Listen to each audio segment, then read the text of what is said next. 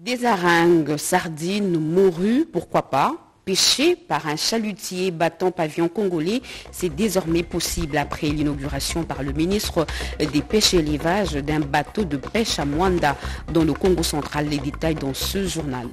Au sommaire également, les forces armées des pays membres de la communauté économique des États d'Afrique centrale, CEAC, sont en session extraordinaire du comité technique spécialisé de la défense et sécurité et sûreté.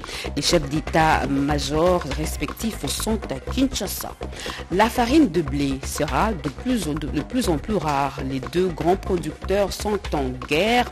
L'université de Kinshasa, dans sa réponse aux problèmes de société, a activé son laboratoire biologique sur le manioc panifiable. Comme chaque vendredi, tous les membres du gouvernement se sont réunis pour le traditionnel Conseil des ministres.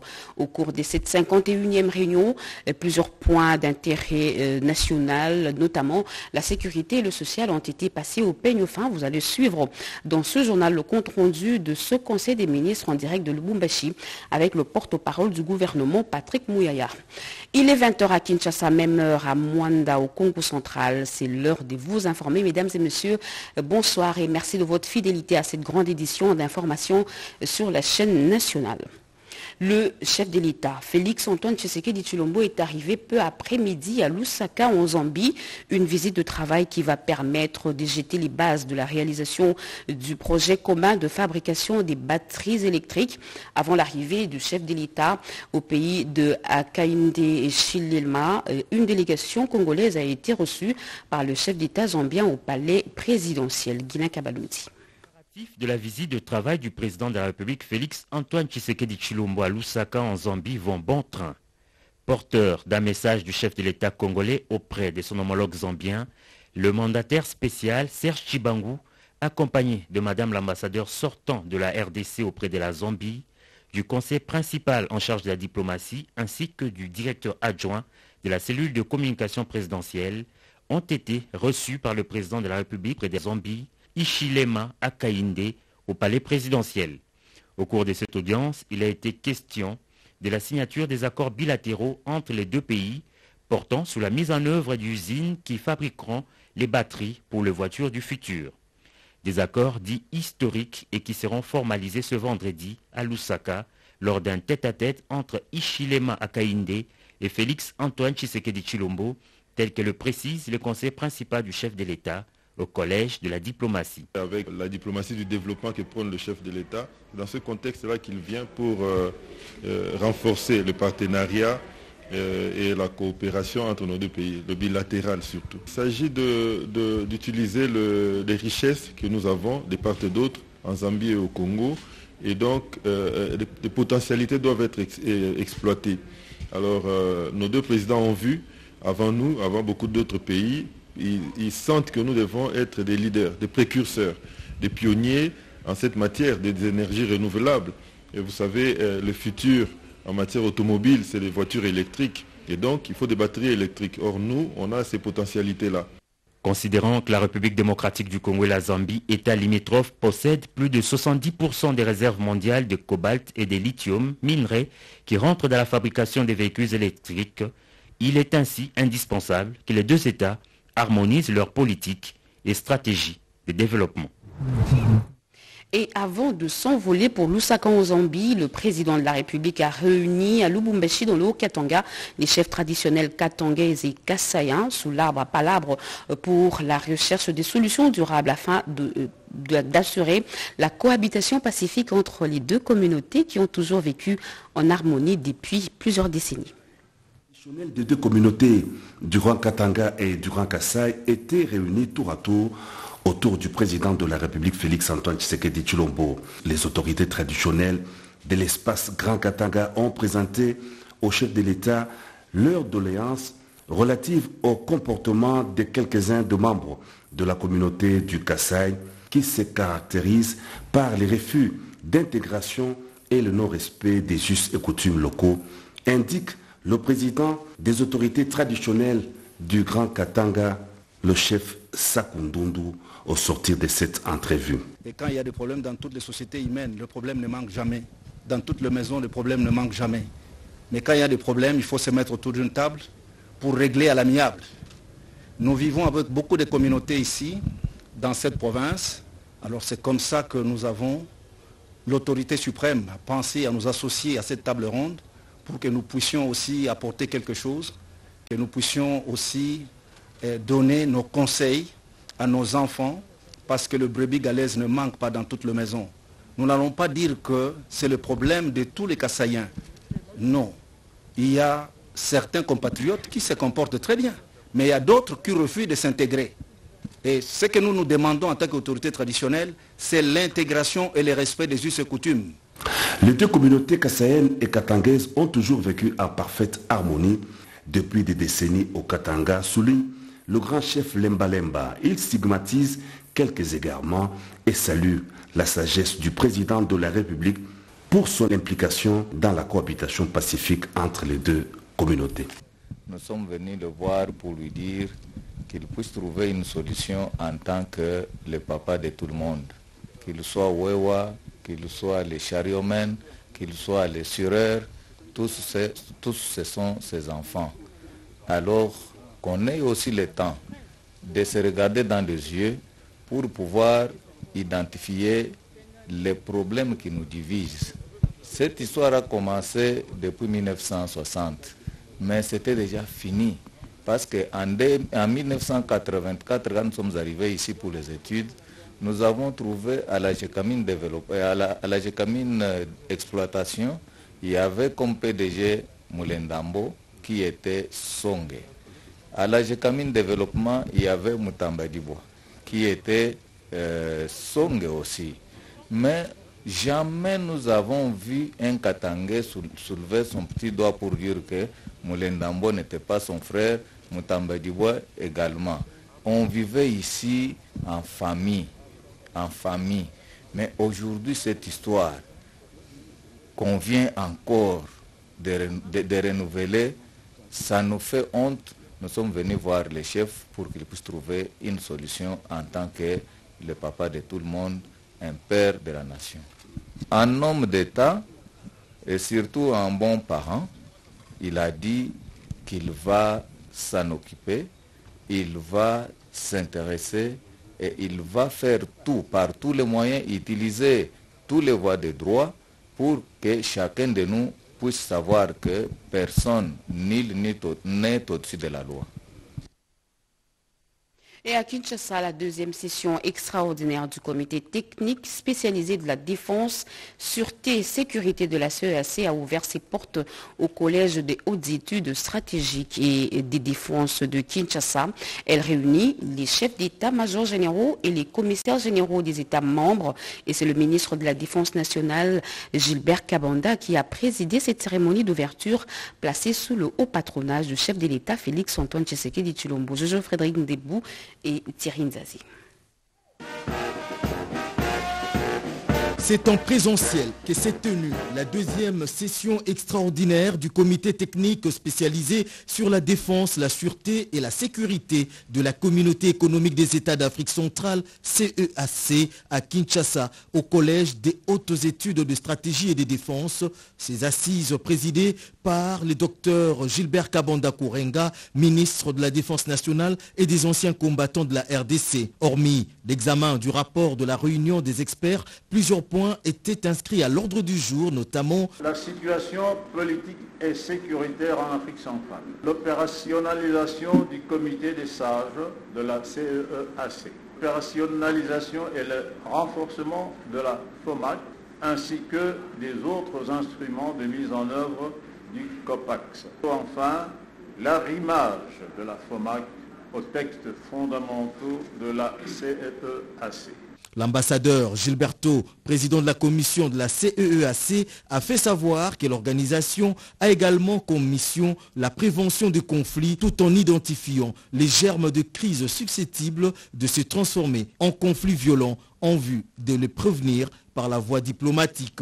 Les recommandations issues de travaux du segment de chef d'état-major des armées, des commandants en chef de la police, gendarmerie et hauts responsables des ministères des pays membres du Conseil de paix et de sécurité de l'Afrique centrale seront soumises aux instances supérieures du comité du Conseil de paix et de sécurité de l'Afrique centrale, COPAX. Et notre confrère Vital Pagabita nous apprend que la 24e session du Conseil de paix et de sécurité de l'Afrique centrale a ouvert ses portes aujourd'hui à Kinshasa. Les travaux ont été, lancés par le ministre congolais de l'intégration régionale. L'économique des États d'Afrique centrale est déterminée à mettre en œuvre sa réforme structurelle avec à la clé le plan régional d'intervention rapide. De cela pour faire face à la menace qui pèse sur cet espace en termes d'insécurité multisectorielle. La prévention des crises et des conflits relevant de la compétence du Conseil de paix et sécurité de l'Afrique centrale, la Commission espère pouvoir bénéficier de son appui total lorsqu'elle ouvrira les chantiers d'un programme régional de gouvernance fondé sur neuf valeurs partagées au cours des mois qui viennent. Dans cette bataille, la RDC est appelée à jouer un rôle de premier plan quand on sait que son président, Félix-Antoine Tshisekedi Chilombo, est le président en exercice de la CAC, rassure Didier Mazenga Mukanzu, ministre de l'intégration régionale et président en exercice du Conseil des ministres des pays membres de la CAC. Fort de ces menaces récurrentes, il est urgent que l'Afrique centrale se dote des capacités requises pour faire face aux défis de la paix et de la sécurité auxquels la sous-région est confrontée. Puis-je vous confirmer que la République démocratique du Congo continuera à apporter toute sa contribution et à jouer son rôle dans ce vaste chantier? Les conclusions de ces travaux permettront à coup sûr à la Commission de paix d'Afrique centrale, COPAX, de se doter de nouveaux outils dissuasifs et de renforcer sa capacité de gestion et de prévention des conflits. Après près de deux mois passés entre les mains des miliciens Codeco, les huit membres de la task force présidentielle dépêchés en Ituri pour négocier un cessez-le-feu sont libres depuis plusieurs jours. De retour à Kinshasa, Thomas Lubanga et, tous les membres ont tenu aujourd'hui une conférence de presse pour relater le calvaire qu'ils ont enduré. Erika Bomba, Bobete Nga et Fiston Avingana. C'est pénible. C'est pénible. Des mots peinent à sortir de la bouche de cet ancien otage de miliciens Codeco et coordonnateur de la task force présidentielle dépêchant en Ituri. Thomas Lubanga a eu des difficultés pour relater ce qu'ils ont enduré pendant leur captivité.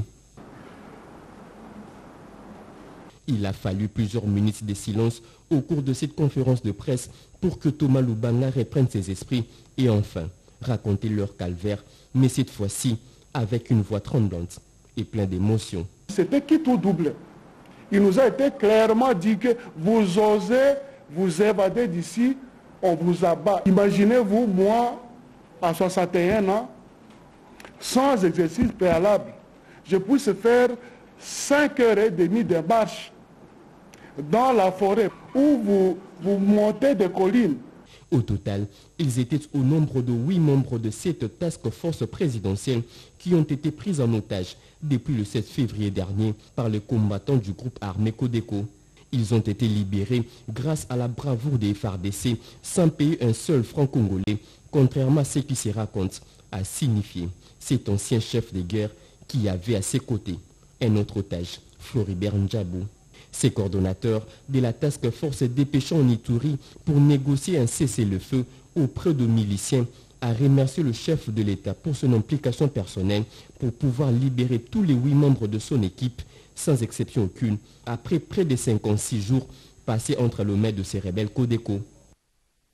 Ouverture à Lubumbashi du colloque international sur les violences basées sur le genre, l'identité et la construction de la nation. Parmi les sujets abordés figure le rapprochement entre les communautés vivant au Katanga, notamment le vivre ensemble entre Kassaya et Katangé. Ce colloque, organisé par l'UNILU, connaît la présence des sommités intellectuelles, parmi lesquelles le recteur de l'agence universitaire de la francophonie. Regardez sur violence, identité et construction de la nation est un cadre pour construire le soi et refonder la nation congolaise.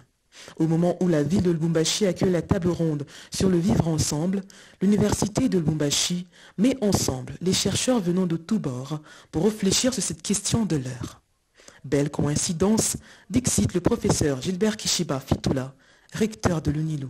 Ce colloque revêt une importance primordiale dans le champ épistémologique, celui précisément où l'université doit se montrer innovatrice, créative, distanciée autant que possible des pressions sectaristes. Ce colloque a son pesant d'or dans le contexte actuel de notre monde en turbulence, ce monde où il y a la remise en question de la sécurité collective.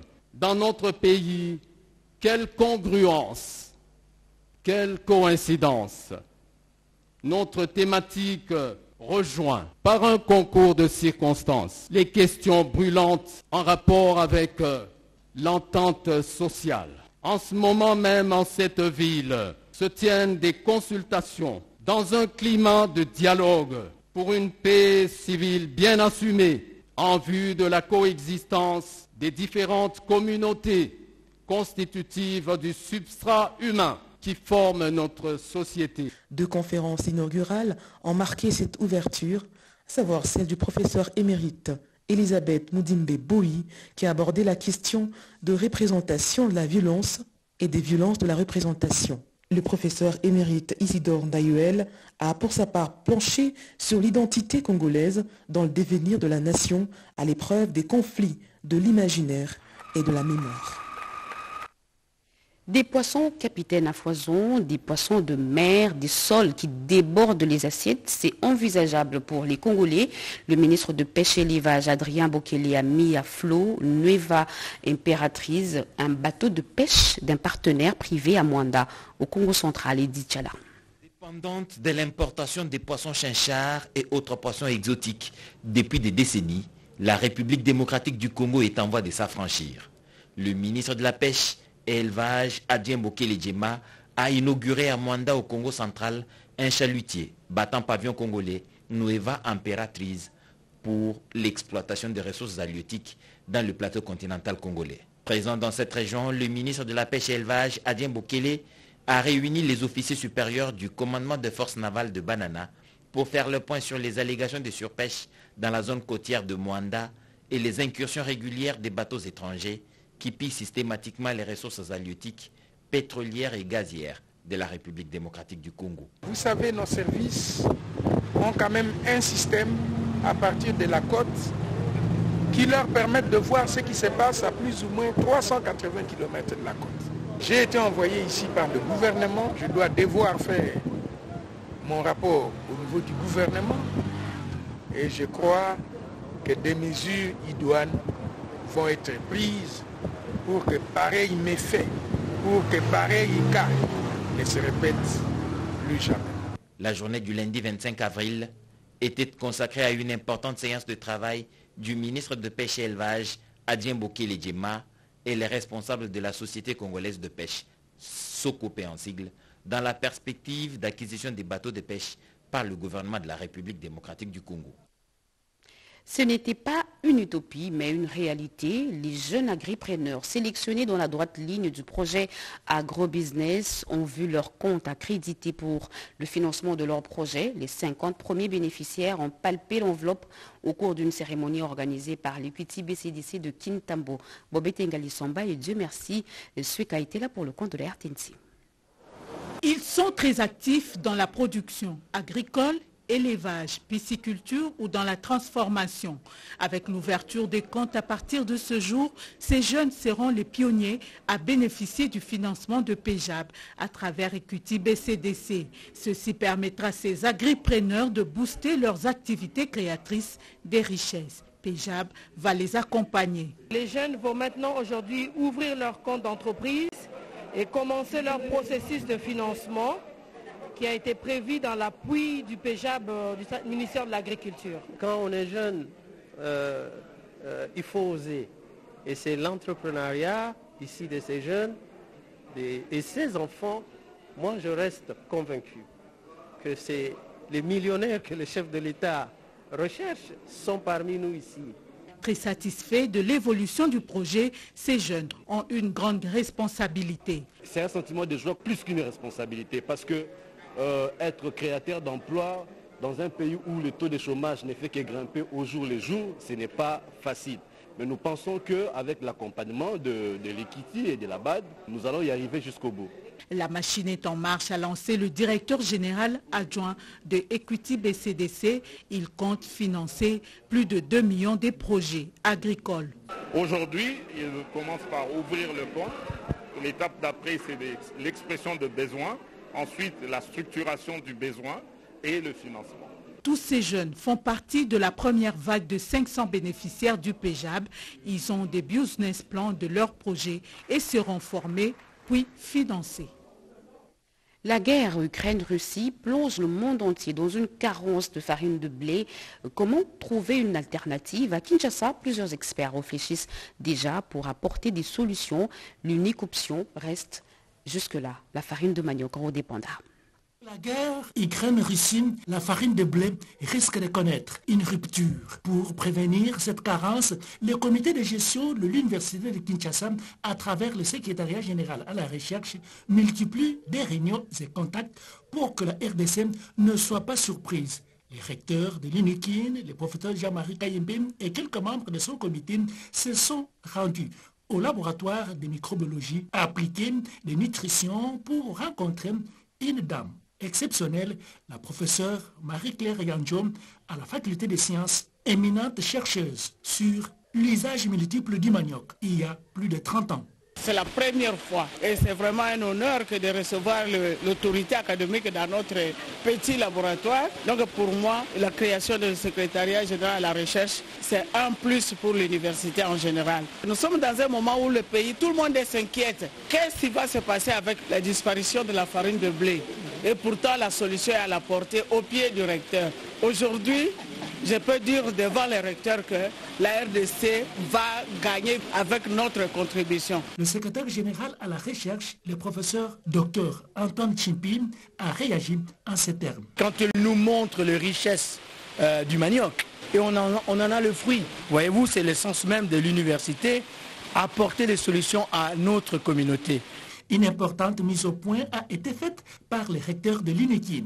Elle nous a dit que la solution pour la farine, le manioc, elle est sous le pied du recteur. Soyez sûr d'une chose, le recteur de l'UNIKIN n'écrasera pas cette solution. Il est temps pour les décideurs de la RDC de mettre l'UNIKIN à l'épreuve pour des résultats et réalisations escomptés. Ainsi, l'UNIKIN pourra se confirmer en tant qu'université solution. Eh bien, en dehors du palais du peuple, sachez que la révision de la loi électorale fait également débat dans les rues de Kinshasa. Plusieurs organisations de la société civile se sont réunies pour faire certains amendements de cette loi. Guy. Deux organisations estiment impérieux la nécessité d'engager des réformes électorales. Le projet de renforcement des initiatives de suivi de mécanismes électoraux prisme et l'IREV, l'initiative pour les réformes, la réussite et la viabilité électorale. Elles ont fait des propositions au Parlement. La qualité des membres, dégager un moratoire pour l'enregistrement des Congolais vivant à l'étranger, vu désormais comme une contrainte réelle des élections à tenir dans le délai constitutionnel. Dans un même cycle électoral, il est interdit tout cumul de candidatures pour les assemblées politiques délibérantes, la lutte contre la corruption dans les campagnes électorales et interdit pendant la période de campagne électorale toute pratique de cadeaux offerts aux électeurs en cas d'utilisation de la machine à voter. Les procès-verbaux et les fiches des résultats imprimés par elle sont prises en compte lors de la gestion du contentieux électoral. Ces deux organisations ont proposé aussi de travailler conjointement avec la Commission politique, administrative et juridique du Parlement pour apporter tout complément d'analyse en vue d'éclairer la lanterne des parlementaires. La mise en œuvre du protocole de Maputo en République démocratique du Congo sur la santé sexuelle et de reproduction, le ministre des Droits humains a, activement participé au débat. C'était au cours d'un déjeuner de presse organisé par le réseau des journalistes Yolande Voka. Santé sexuelle et reproductive, droits de femmes et droits humains. C'est le thème tiré du protocole de Maputo sur lequel s'est penché les réseaux de journalistes pour la santé sexuelle et reproductive. Le ministre des droits humains, André Fabrice Pouela, s'est exprimé sur de mariages précoces et forcés de jeunes filles érigées en mode de vie dans certains coins du pays. Protéger la vie des femmes en se conformément à la loi et en prenant des décisions judiciaires fondées sur le protocole de Maputo en encourageant le respect des droits humains fondamentaux, y compris les droits à la santé de la reproduction. Pour la coordonnatrice du RJSSR, Bibish Mbete, les femmes sont soumises à plusieurs exactions qui doivent attirer l'attention de décideurs. Chaque jour qui passe, des femmes meurent. Elles meurent en couche, elles meurent de complications d'avortement. Chaque jour qui passe compte des femmes qui souffrent dans leur corps et dans leur âme parce qu'elles ont été violentées, violées, harcelées. Plusieurs autres orateurs se sont succédés à la tribune, notamment les représentants du ministre du Genre et aussi le représentant pays de Haïpas en République démocratique du Congo, le docteur Jean-Claude Moulunda. Tous ont démontré la nécessité d'appliquer les protocoles de Maputo qui demeure un document important pour la protection de la femme en République démocratique du Congo. Après l'atelier de sensibilisation sur la loi relative à la sous-traitance au loi là-bas, l'heure est à l'enregistrement des sous-traitants pour formaliser leur business. Mérende qui nous en dit plus. Les décors plantés, l'espace Lindy a été choisi pour abriter cette cérémonie, première initiative de la Respect Loi là-bas. L'autorité de régulation de la sous-traitance dans le secteur privé qui tient à l'exclusivité de marché aux PME à capitaux majoritairement congolais veut à travers cette action formaliser les activités de sous-traitants pour bénéficier des avantages de la loi en rapport avec la sous-traitance. En présence du représentant du commissaire de l'entrepreneuriat et PME Jules Kabouit, les commissaires de l'économie Mathieu Kazembe, les maires de la ville de Kolwezi ainsi que le chef du secteur de Lulou, les directeurs de la respect là-bas, Dani Kabongo, s'est dit satisfait du travail abattu et ce après les ateliers de sensibilisation à l'intention de sous-traitants. Je suis conscient de l'importance de notre mission, celle de parvenir à l'éclosion d'une classe moyenne au là-bas. Dans la réalisation de cette lourde tâche, je suis heureux de vous dire combien l'appui de nos différents partenaires est précieux. En plus du soutien indéfectible de la Direction générale de l'ARSP, dirigé par M. Kalej Kand Ahmed. Puis on suivra la remise des attestations d'enregistrement récipiendaire. Voilà pour moi une occasion de plus de féliciter l'autorité de régulation de la sous-traitance dans le secteur privé, qui sans se lasser matérialise les objectifs que la loi précitée s'est assignée. Très heureux et satisfaits, les bénéficiaires n'ont pas manqué de remercier l'initiateur de l'action. La classe moyenne trouve un volume de plus à travers cette action de la respect. Ainsi, le chemin de l'émergence de la classe moyenne en RDC est balisé. La campagne de sensibilisation des jeunes sur la paix et la justice se poursuit à Kinshasa. À la manœuvre, les femmes de plusieurs structures féminines. Elles ont sensibilisé aujourd'hui la population de la commune de Barumbo. Christine Lindo. Les valeurs de paix et de justice, deux concepts qui ont fait l'objet de la tribune d'expression populaire organisée en faveur des femmes et jeunes de la commune de Barumbu avec l'appui de la fondation Ansaïdel. Deux femmes expertes et membres de la Ronde pour la paix, Léonie Kandolo et Gertrude Vaende, ont exhorté l'assistance à investir en faveur de la paix et dans son environnement, dans sa famille et dans son environnement immédiat. Nous avons remarqué qu'il y a un besoin de sensibilisation, de prise en charge par rapport à l'éducation civique. Chaque individu qui est responsable de la paix et de la construction de la nation. Nous devons nous dire que nous ne devons pas toujours accuser nos dirigeants, mais nous-mêmes, nous devons être des acteurs de la paix. Dans cette commune de Barumbu, Commune voisine à celle de la Gombe, plusieurs groupes troublent l'ordre public, comme l'explique l'expert en genre, Faïda Mwangiloa. On ne peut pas vivre en paix si l'on ne connaît pas soi-même chercher la paix, vivre en paix avec ses voisins. Nous, la population, nous avons l'obligation de travailler durement sur terrain. Les participants à ces assises ont à cette occasion souhaité revoir les membres de la Ronde pour la paix venir débattre d'autres sujets qui touchent à leur vie quotidienne. Et cette date à inscrire sur nos agendas, le 30 juin prochain, tous les anciens de Wenge Musica BCBG 4x4 vont se retrouver sur un même podium pour un concert de réunification au stade des martyrs.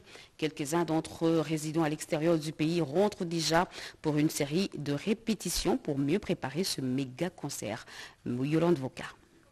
Voka du concert de réconciliation de tête d'affiche de l'orchestre Wenge Musica BCBG 4x4 tout terrain qui aura lieu au stade de Martyr le jeudi 30 juin prochain. Le musicien de la diaspora qui composait cet orchestre à ses origines avant sa dislocation en décembre 1997 arrive déjà à Kinshasa. Ils sont déjà dans la capitale pour ces grands événements. Blaise Boula, Alain Makaba, Didier Massela, Robert Ekokota, Passion Kusangila, Titina Al Capone et Tutu Kaloudi. Même la parole de Dieu dit, tu ne porteras pas de faux témoignages contre ton prochain. Je suis venu pour la réconciliation de Wenge. Je veux que les autres secteurs, les autres domaines aussi emboîtent le, le pas.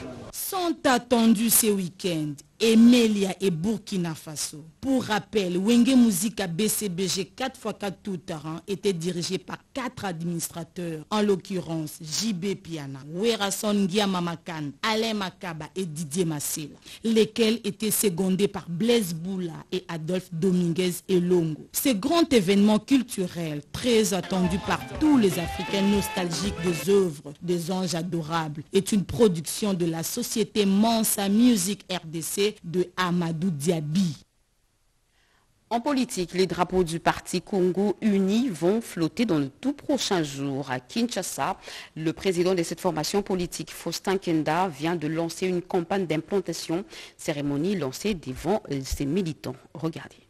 De projeter la conquête de l'ensemble du territoire national, les partis politiques Congo Uni s'engagent à s'installer suffisamment à Kinshasa capitale de la RDC. C'est dans ce cadre que des séries de matinées politiques se sont déroulées autour de son initiateur, Maître Faustin Kaziteri Kokenda, appelé affectueusement son éminence Maître Kazi, avec les partisans et sympathisants des districts de la Funa et du Moamba, phase pilote de la campagne d'implantation du parti Congo Uni. Premièrement avec les membres du district de la Funa, qui ont bravé la pluie samedi dernier, répondant massivement à ces assises au siège national du parti. Même exercice avec ceux du mot Amba à la journée dominicale, auprès de qui Maître Kazi a prêché un message d'amour et d'espoir en vue d'aboutir au changement du Congo. Nous avons commencé avec notre campagne d'implantation de notre parti politique Congo Uni, qui est un parti divin. Et hier, comme vous l'avez dit, c'était avec euh, le district de Funa, et aujourd'hui c'était avec celui de Moamba. Le message que nous avions transmis, c'est le message de paix, le message d'espoir. Et c'est quoi ce message C'est que le changement est possible.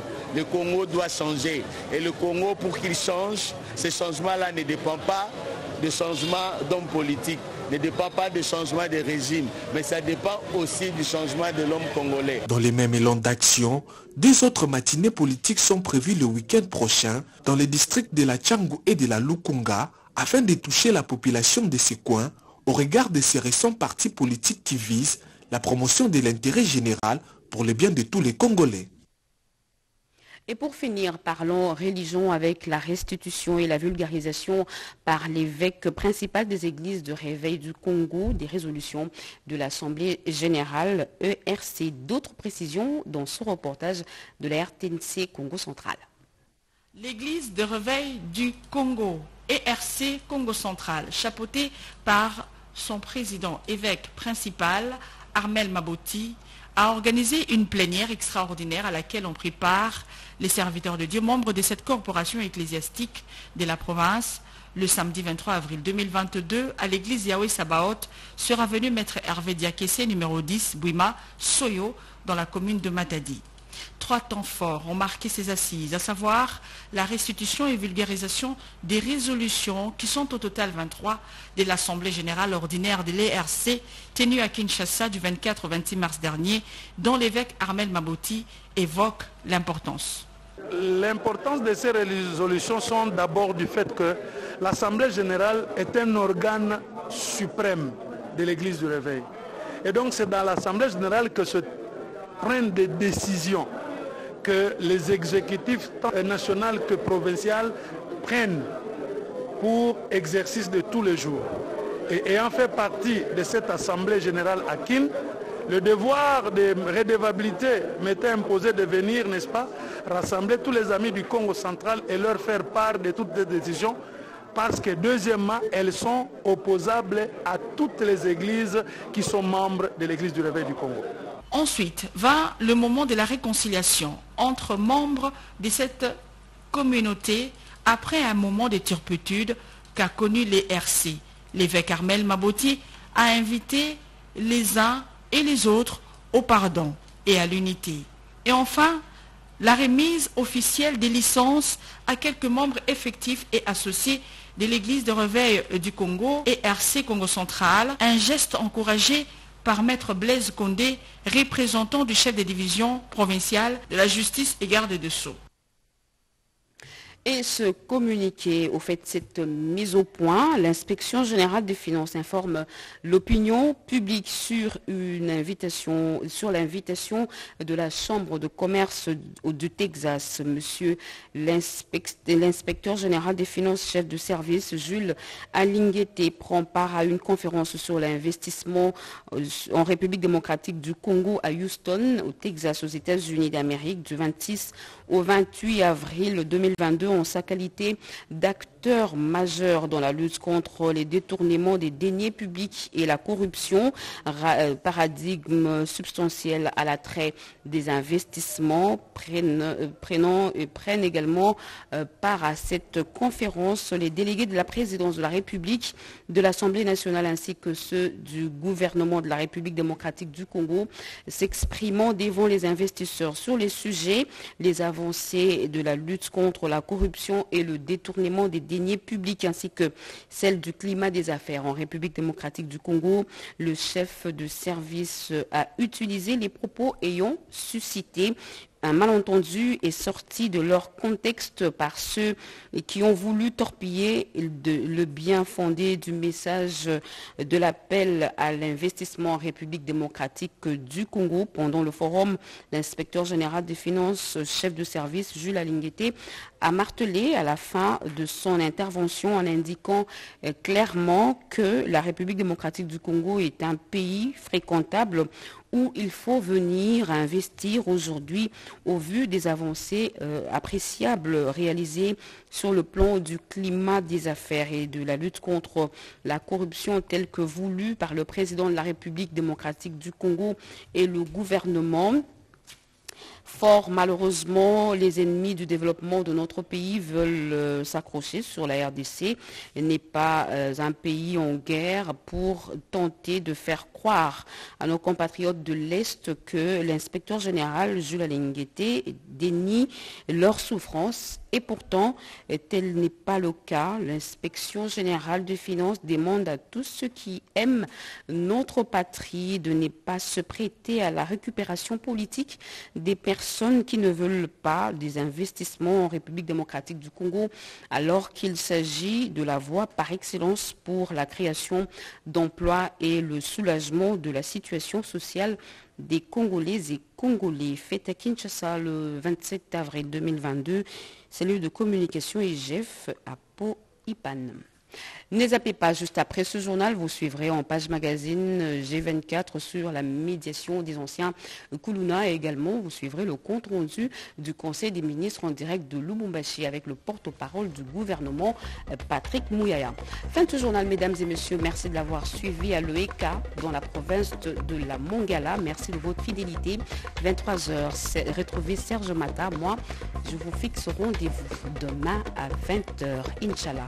Excellent début de week-end à tous. Au revoir.